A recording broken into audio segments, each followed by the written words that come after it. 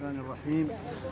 الحمد لله رب العالمين والعاقبة للمتقين ولا عدوان إلا على الظالمين. أشهد أن لا إله إلا الله وحده لا شريك له وأشهد أن محمدا عبده ورسوله. اللهم صل وسلم وزد وبارك عليه وعلى آله وصحابته أجمعين. يقول الله عز وجل في كتابه العزيز بعد أعوذ بالله من الشيطان الرجيم كل نفس ذائقة الموت. وإنما توفون أجوركم يوم القيامة. فمن زحزح عن النار وأدخل الجنة فقد فاز. وما الحياة الدنيا إلا متاع الغرور. ويقول النبي صلى الله عليه وسلم كفى بالموت واعظا كفى بالموت واعظا كفى بالموت واعظا. ها نحن أيها الأحباب نزور هذا المكان مجددا. وهذا المكان إن لم نزوره أحياء فنزوره ميتين. وهذا المكان إن لم نأتي كي نعزي أو كي نحضر الجنازة سنأتي يعني محملين فوق الأكتاف. إن لم ندخل هذا المكان كي ندعو للميت بالرحمة والغفران سندخله حتى يدعو لنا الناس بعدنا.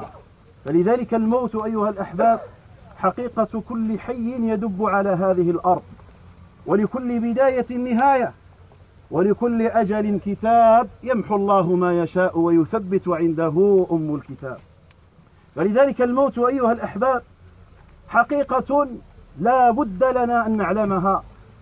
وإذا أراد الإنسان أن يتذكر الآخرة وأن يتذكر الله عز وجل فعليه أن يذكر الموت لأن الموت سمي بهادم اللذات ومفرق الجماعات وقاطع الأسر والجماعات.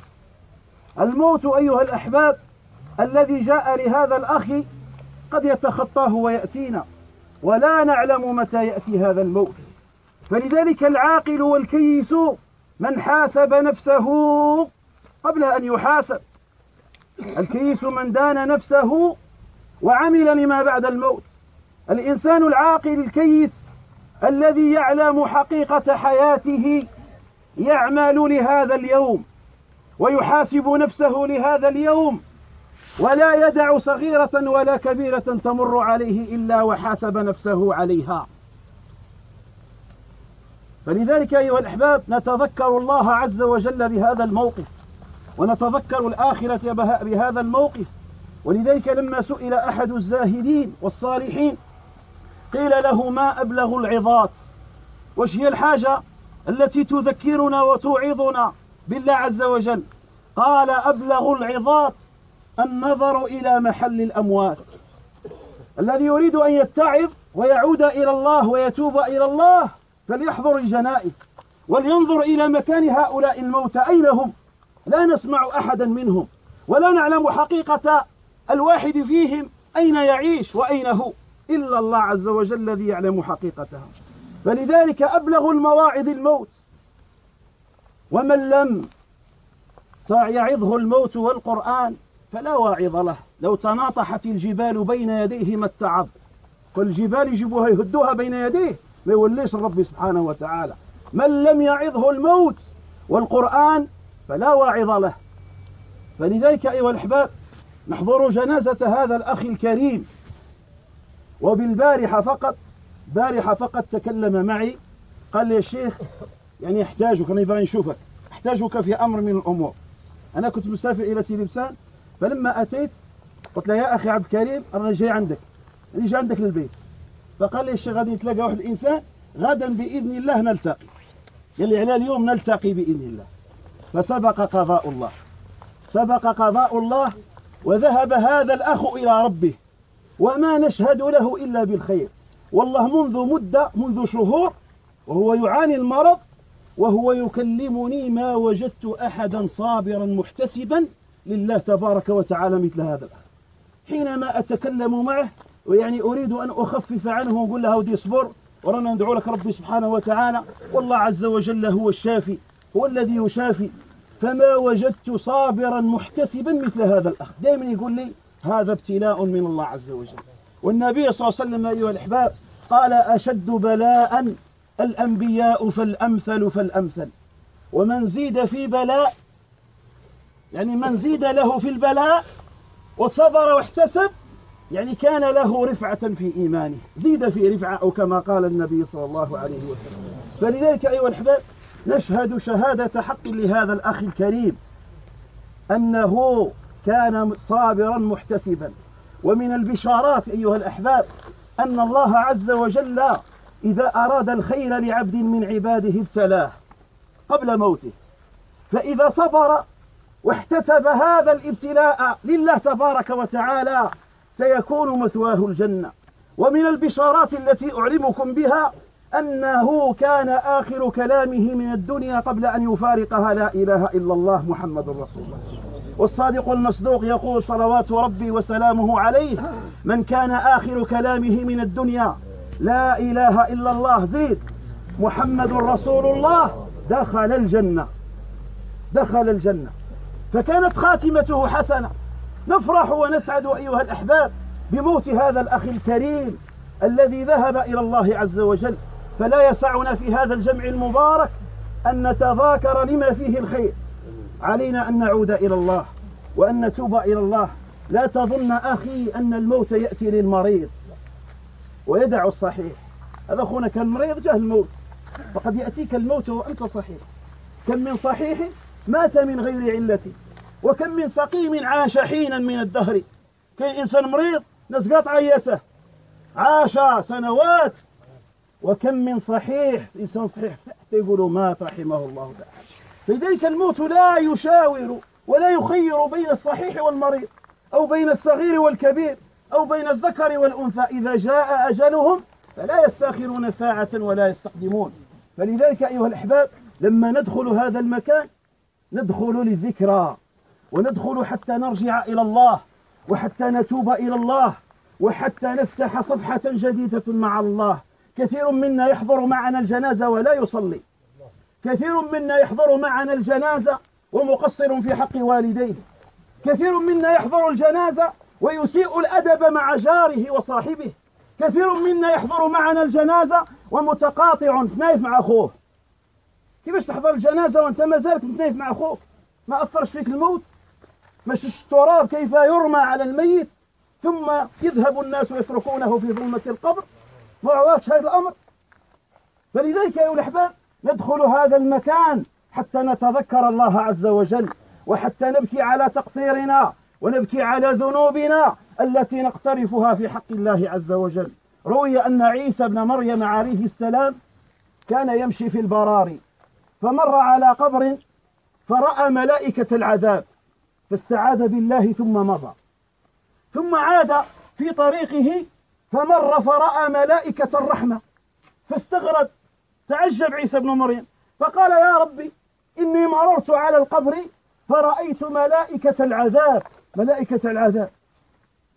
ثم مررت مرة أخرى على القبر فرأيت ملائكة الرحمة. تعجب. فقال رب العزة جل جلاله يا عيسى إن ذلك العبد مات وكان محبوسا في قبره في عذابه.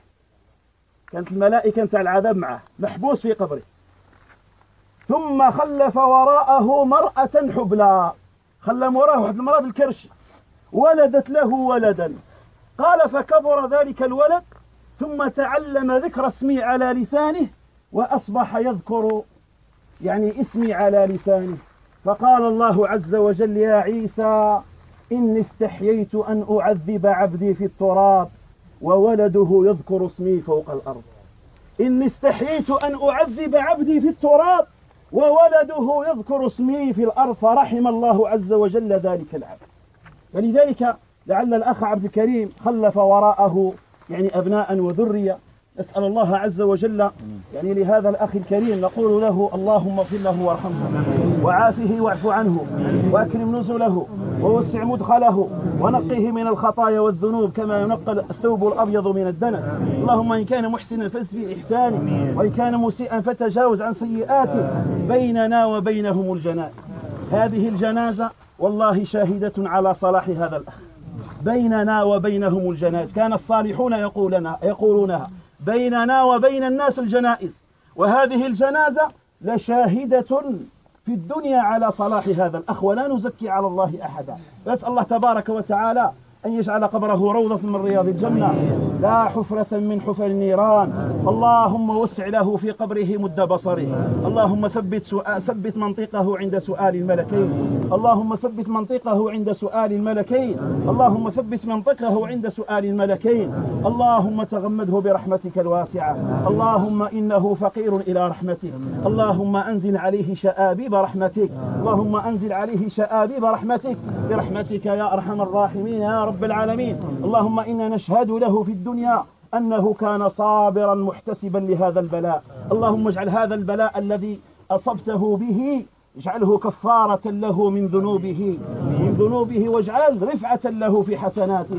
برحمتك يا أرحم الراحمين يا رب العالمين. اللهم ارزق ذويه وأهله الصبر الجميل.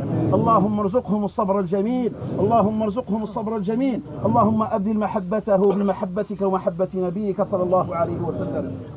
اللهم اجعل يعني ذرية أولاد بتاع الله. اجعلهم إن شاء الله ذرية صالحة مصلحة. اجعلهم ذرية صالحة مصلحة. تدعو لوالدها بالخير والمغفرة والرحمات. برحمتك يا أرحم الراحمين يا رب العالمين. اللهم لا تحرمنا أجره ولا تفتنا بعده. واغفر لنا وله والحقنا به مسلمين مؤمنين غير مبدلين ولا مغيرين.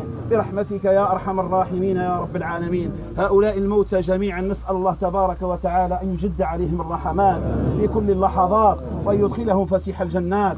اللهم وسع لهم في قبورهم مد بصرهم. اللهم اجعل قبورهم روضة من رياض الجنة. اللهم ارفعهم في عليين مع النبيين والصديقين والشهداء والصالحين. وحسن أولئك رفيقا برحمتك يا أرحم الراحمين يا رب العالمين. صلى الله تبارك وتعالى أن يجعل جمعنا هذا جمعا مباركا مرحوما. ويجعل تفرقنا منه سالما من الشر معصوما. اللهم لا تدع لا فينا ولا معنا شقيا ولا محروما. اللهم اغفر لحينا وميتنا وحاضرنا وغائبنا وذكرنا وأنثانا وكبيرنا وصغيرنا ومن كان له فضل علينا. اللهم اغفر لنا وارحمنا. وارحم والدينا. وارحم من علمنا وارحم موتانا وارحم برحمتك جميع المسلمين والمسلمات المؤمنين والمؤمنات الأحياء منهم والأموات عامة يا أرحم الراحمين يا رب العالمين. اللهم اسقنا الغيث ولا اجعلنا من القانطين. اللهم اسقنا الغيث ولا اجعلنا من القانطين. اللهم اسقنا سقيا رحمة. لا سقيا عذاب. اللهم احيي بلدك الميت وانشر رحمتك واغفر لعبادك. برحمتك يا أرحم الراحمين يا رب العالمين. اللهم لا تحاسبنا بذنوبنا وتقصيرنا. اللهم إنا نرجو ونسألك رحمتك وعطفك وغفرانك. فاغفر لنا وارحمنا. فاغفر لنا وارحمنا. أغفر لنا وارحمنا. وأنت خير الراحمين. برحمتك يا أرحم الراحمين يا رب العالمين. اجعل آخر كلامنا من هذه الدنيا لا إله إلا الله محمد رسول الله. بسم الله الرحمن الرحيم الحمد لله رب العالمين. الرحمن الرحيم ملك يوم الدين إياك نعبد وإياك نستعين اهدنا الصراط المستقيم صراط الذين أنعمت عليهم غير المغضوب عليهم ولا الضالين.